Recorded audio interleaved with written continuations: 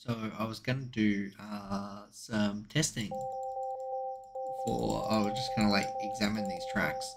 Uh, unfortunately, it doesn't allow me to do so because for whatever reason the Windows version of this game sucks ass and doesn't allow me to play tracks. So thanks, thanks so much, Milestone.